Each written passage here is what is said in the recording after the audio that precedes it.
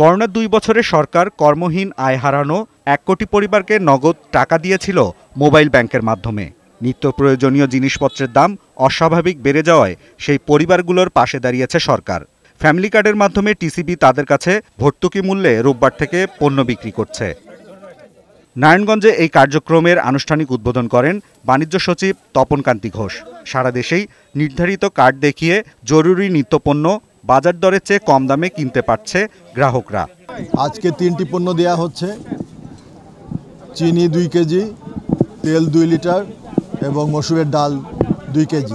বাজারে পেঁয়াজের দাম কম আছে, সুতরাং এটা আমরা দেওয়ার চিন্তা করি নাই।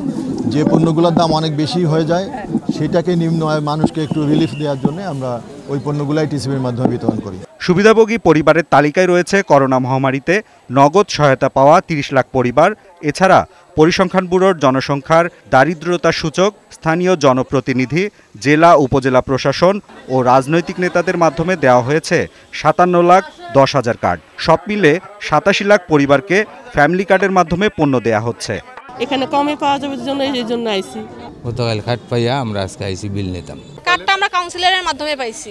বাজারের দামের চেয়ে আরও সুলভ মূল্য পাচ্ছি। তালিকা জটিলতার কারণে ঢাকা সিটি কর্পোরেশন এলাকার বারো লাখ এবং বরিশাল সিটি কর্পোরেশনের নব্বই হাজার পরিবারকে কার্ড দেয়া সম্ভব হয়নি।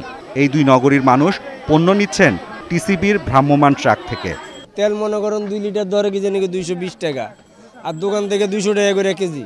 যখন সুযোগ পাই সামনে পড়ে তখন নেই। যেভাবে পণ্যের দাম বাড়ছে তা তো আমরা কুলাইতে পারতেছি না। আমরা গরিব মানুষ বিক্রি করে খাই দোকানটা কিনি খামো কইতেন প্রথম দফার কার্যক্রম চলবে তিরিশে মার্চ পর্যন্ত এবং দ্বিতীয় দফায় তেসরা এপ্রিল থেকে শুরু হয়ে চলবে বিশে এপ্রিল পর্যন্ত। ফেরদোস আরেফিন বৈশাখী সংবাদ ঢাকা।